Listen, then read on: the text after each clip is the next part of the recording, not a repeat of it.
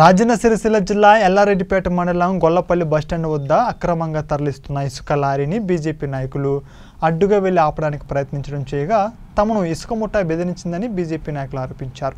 దీనిపై అధికారులు వెంటనే చర్యలు తీసుకోవాలని వారు డిమాండ్ చేశారు.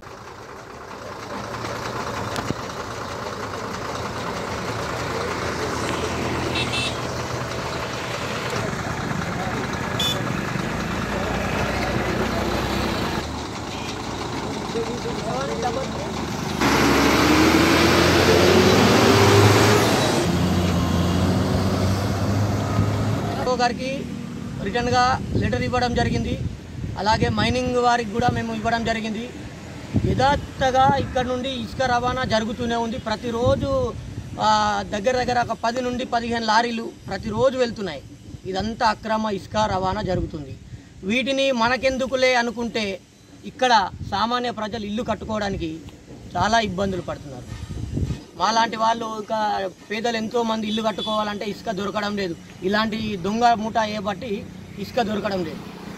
కాబట్టి వారిని ఈరోజు అడ్డుకునే ప్రయత్నం చేశాం. కట్కూరు నుండి అక్కడ నుండి వస్తుందని మాకు ఇన్ఫర్మేషన్ రాగానే మేము బస్ స్టాండ్లో ఆపే ప్రయత్నం చేస్తే ఆ లారీ మా పైకి ఎక్కించే ప్రయత్నం చేసిండు. అలాగే బెదిరింపులు రాడు చూపించి బెదిరింపుడు అలాగే మేము ఇంకా ముందుకు కూడా వచ్చి రెండు జాల మూడు జాలు అడ్డుకునే ప్రయత్నం చేసినా కానీ అది ఆగకుండా వెళ్ళిపోయింది. ఇది దీంట్లో ఒకవేళ అది దర్జాగా పోయేది అయితే చూపించాల్సింది. ఏది అధికగా లోడ్ ఉంది అలాగే ఎలాంటి వేపిలు లేవు ఏం లేవు. చూపించమంటే బెదిరింపులు రాడ్డు చూపించడం.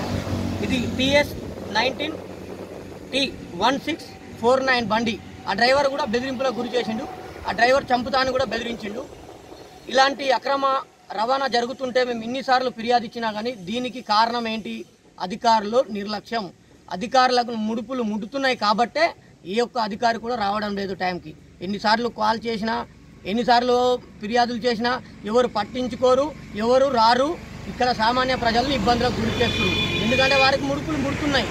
అలాగే ఈ ప్రజాప్రతినిధుల నుండి కూడా వారికి ఏమన్నా భయం ఉందో తెలియదు అది కూడా. అది కూడా చెప్పడం లేదు. ఎన్నోసార్లు ఫిర్యాదులు ఇచ్చినాం. ప్రతిరోజు అక్రమ ఇసుక రవాణా జరుగుతూనే ఉంది. ఎవరైనా అడ్డం వస్తే వాళ్ళని తొక్కియడము చంపేయడము. అలాగే ఎట్లా ఉందంటే ఈ లారీలు అధిక లోడ్తో వస్తాయి. బ్రేక్ చేస్తే మళ్ళీ తొందర మూవ్